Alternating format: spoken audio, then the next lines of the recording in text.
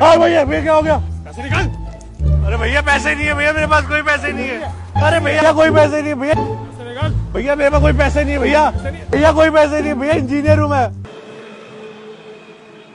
तू भी इंजीनियर है? हाँ भाई। मैं भी इंजीनियर हूँ भाई। तुझे कैसे मार सकता हूँ मेरे भाई? अरे भाई मैं